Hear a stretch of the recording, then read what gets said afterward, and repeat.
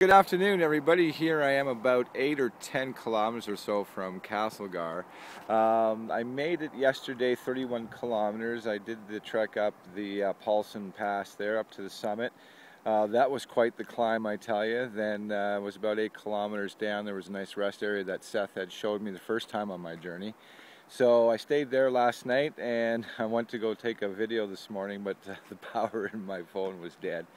Uh, but I woke up this morning about quarter to six. By the time I got everything all uh, packed away, had my coffee and my breakfast, the uh, it started snowing. So for the first uh, hour and a half or so of this morning, I spent uh, walking through a snowstorm up the up the Paulson. So that was pretty good. Uh, then I started coming down.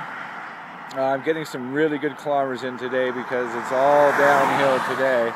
Unlike yesterday, three quarters of the day I spent going up a mountain, so I'm pretty spent. I ran into Seth uh, about an hour ago or so.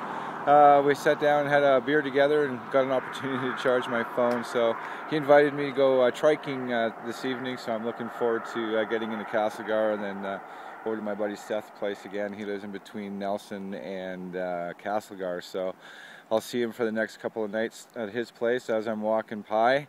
And then I'm going to go to Nelson's. I'm looking forward to seeing Nelson again. Wow. But right now, you couldn't believe this morning I started off wearing winter gear, went down to rain gear, and now I'm down to t-shirt and shorts. Everybody have a super, super day. Here I am coming down the Paulson.